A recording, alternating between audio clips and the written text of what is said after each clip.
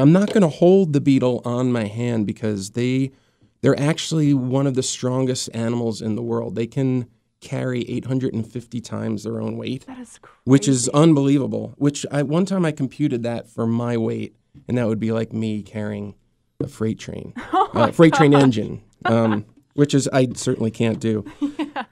And so, so this beetle, this is the the Hercules beetle that we mentioned, and it's the biggest species of beetle in the world. And the only reason I would not put it on my hand. Oh my god, you're picking Oops. it up.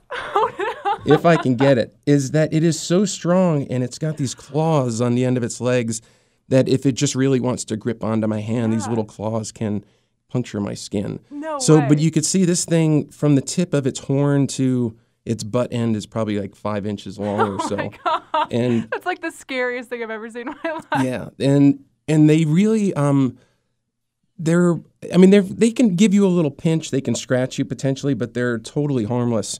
Um, they they'll just eat pretty much fruit or tree sap and, and things like that as they're growing. Actually, um, when an egg is laid and the larva that is born, it's like a little grub, and those are the ones that um, are would be more dangerous to a person than the actual beetle because they they gnaw through wood.